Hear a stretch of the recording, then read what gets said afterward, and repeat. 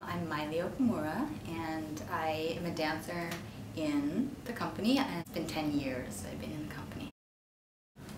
Well, I think we all anticipate L'Allegro for, for, for months beforehand.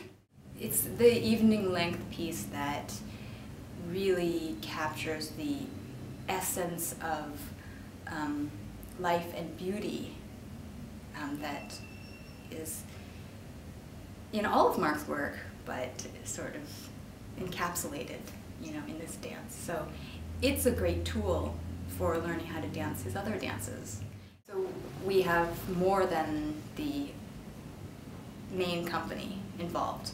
So we have former dancers and we have new dancers. Um, like when I first started, there were many people who just did L'Allegro who were from the, you know, from the original company or had been in these roles for years and years. And um, it was a great way for me to have that experience, you know. It's larger than the current company. It's like past, present, and future. Well, um, L'Allegro features women, There are um, several beautiful solos for the female dancers.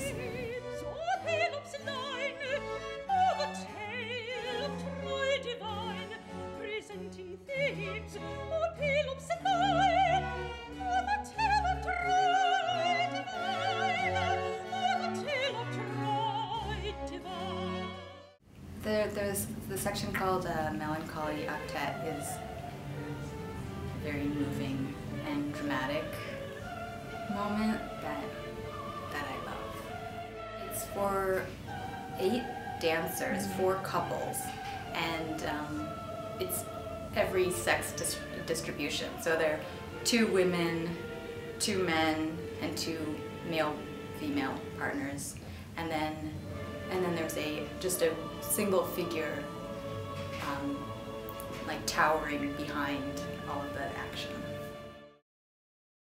So it's a great way to to start to enter his world.